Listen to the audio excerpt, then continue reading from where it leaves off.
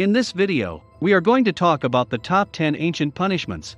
So before starting, please like this video and subscribe to this channel for future updates. The death penalty is the ultimate punishment.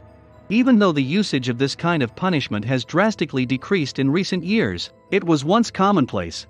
Often, condemned offenders were brutally tortured and executed to show the consequences of a life of crime. Every country has unique methods of carrying out capital punishment. The objective was usually to make the guilty suffer as long as possible. Although sometimes the manner used had symbolic value. But criminals never died honorably.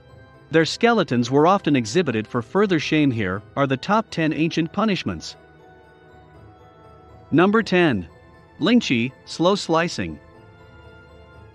Lingchi was a violent manner of execution in China where the prisoner would be repeatedly stabbed until dying of blood loss. Executors were to make as many incisions and remove as much flesh as possible without killing the victim. A thousand cuts was another name for it. Lingchi began in the 10th century and ended in 1905. It is one of the few execution techniques on this list for which images exist. Lingchi wasn't made in a precise way. The executioner's expertise and kindness, as well as the severity of the crime committed, all influenced the experience. Some Ming Dynasty documents say victims received up to 3,000 slashes before dying, while others say it took less than 15 minutes, People were sometimes given opium to make them suffer more or less, although this is uncertain. It may have kept them awake longer. Lingchi was one of the five punishments. A punishment scale that rose in severity. It included amputation of the nose or foot, exile, tattooing, and even castration. Number 9. Sawing. Witchcraft, adultery, murder, blasphemy, and robbery were all sawn to death in medieval Europe. The Romans preferred to see their captives in half horizontally, whereas the Chinese preferred to hang them by their feet and saw vertically down their bodies. This approach was more successful in extending suffering because it improved blood supply to the brain. According to historical records, the victim's hands and feet were sawed off first, then the wounds were cauterized with a torch. Then the victim will be sawed in half. In ancient Rome, Caligula was known to eat while watching people be sawed, reveling in the victim's agony. Number 8. Execution by elephant. Known as Gunga Rao, this kind of punishment was largely utilized in Asia and India, with occasional indications of use in the West. Since the Middle Ages, elephants have been used to execute criminals in India. Victims were frequently enemy troops or citizens who stole, evaded taxes, or rebelled. Even though there were many other options for execution, elephants were chosen because they could be trained to torture and murder offenders. For example, an elephant may be trained to crush a victim's limbs before killing them. Francois Bernier, a French traveler, saw another elephant execution. The elephant was taught to chop criminals with blades attached to their tusks. Number 7. Hanging, drawing, and quartering. In English law, an individual guilty of high treason would be sentenced to death. Instead, women were burnt at the stake for decency. Until 1870, prisoners guilty of high treason were hauled to the execution site by a horse tethered to a hurdle or sled. The culprit would thereafter be hung without a drop to avoid a broken neck. The criminal's genitals and stomach would be slashed open before he died. The criminal's internal organs would be pulled out and his body severed. Finally, the corpse would be quartered. The criminal's head and quarters were often parboiled to keep them from decaying and placed on the city's gates for all to see. This cruel form of death was invented in 1241 to punish pirate William Maurice. The Treason Act of 1814 substituted disemboweling with hanging, now with a neck breaking drop, and post mortem decapitation. Number 6. Gibbeting. This type of death penalty was used in Scotland primarily for murderers.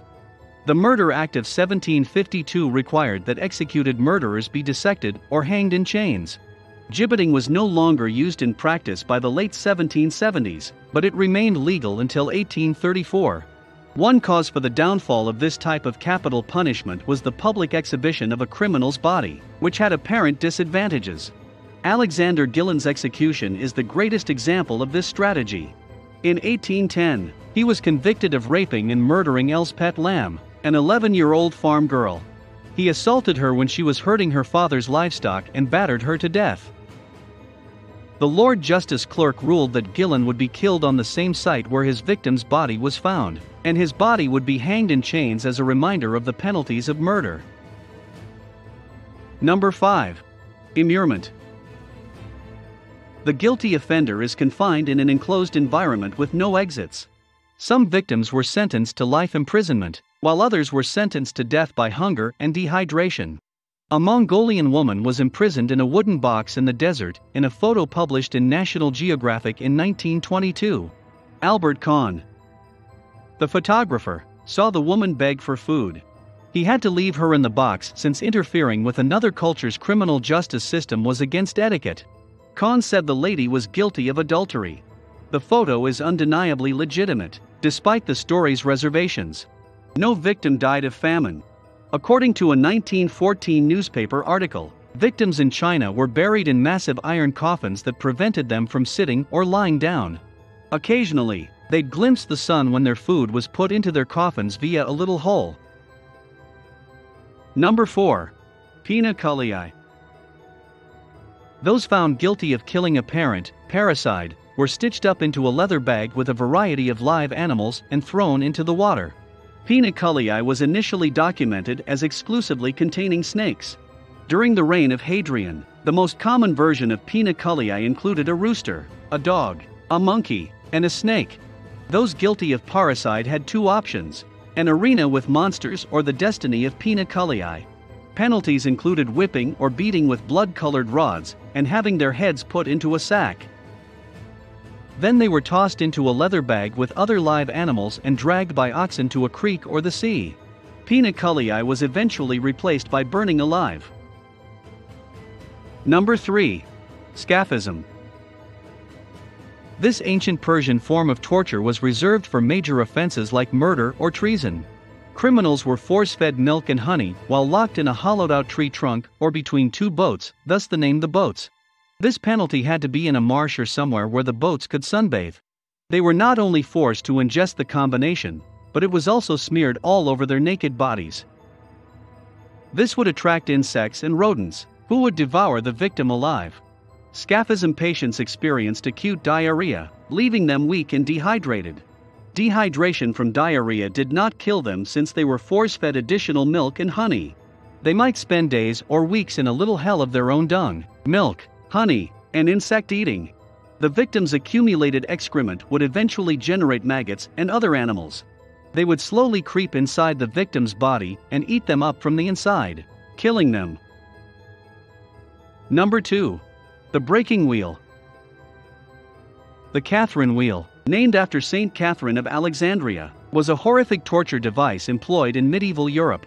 It was popular in France and Germany and was still used in some cases after the Middle Ages. It was called the breaking wheel because it was meant to break victims' bones. Men guilty of serious murder received this type of death sentence. The victim was shackled to the wheel and beaten with a club or iron cudgel. The wheel may be used to exhibit the victims' bodies after they died. The victim might be tortured for days on the wheel, or the executioner would inflict multiple strikes to the chest and stomach, known as coups de grace, to hasten death. The wheel's functioning varied by nation, and some versions contained a wooden cross. Number 1. The garrote. In 1812, the garrote was introduced as an alternative to hanging. During the 19th century, at least 736 persons were garrote in Spain. Those sentenced to death by this procedure were usually found guilty of murder. Banditry, or large acts of terrorism, Prisoners were sat with their backs against a post, and a rope loop around their necks was tied to the pole. Executors would then strangle them with a stick put within the rope loop. A Chinese variant of this execution style used bowstrings. Several changes were developed throughout time to make the garrote more compassionate. The garroting method was altered to include a wooden seat with hand and foot shackles and a hinged iron collar around the neck. The wooden stool comes with a screw slash lever mechanism with a star shaped blade. This would then be used to penetrate the prisoner's neck and cut the spinal column, preventing strangulation. Even while the victim generally lost consciousness and died within minutes. This was not always the case. This led to the conclusion that hanging was always the fastest and most merciful approach.